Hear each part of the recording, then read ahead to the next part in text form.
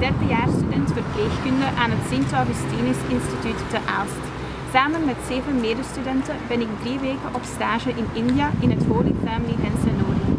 Dit ziekenhuis staat in voor de zorg van lepra- en TBC-patiënten en wordt ondersteund door de Damiaanactie. We zijn hier op het domein van het ziekenhuis.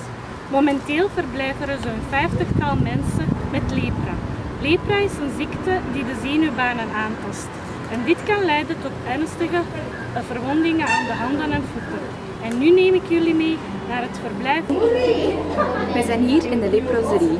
Jullie zien hier dat de mensen zich voorbereiden voor de wondzorg.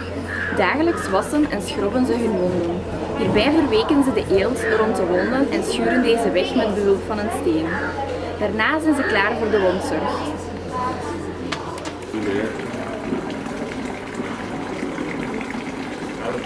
Hãy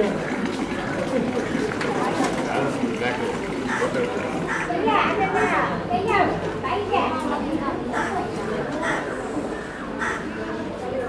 Ghiền Mì Gõ Để không bỏ lỡ những video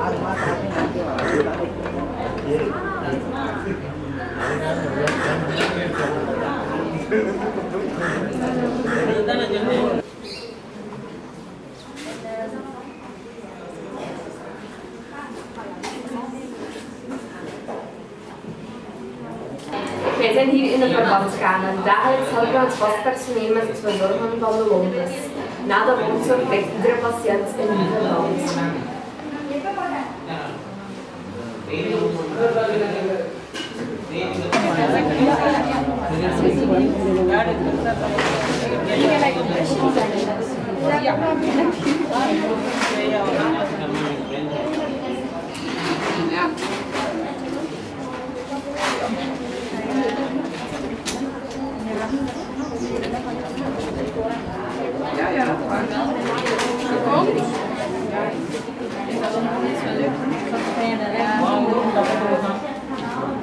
Voor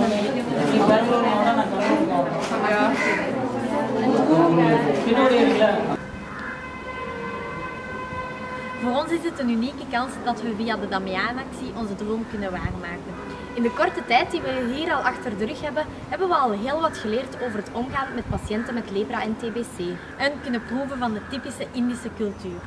Voor ons is het ook heel aangrijpend om te zien hoe mensen, ondanks hun vele lichamelijke beperkingen, zich kunnen behelpen in de activiteiten van het dagelijks leven en hoe ze zorg dragen voor elkaar.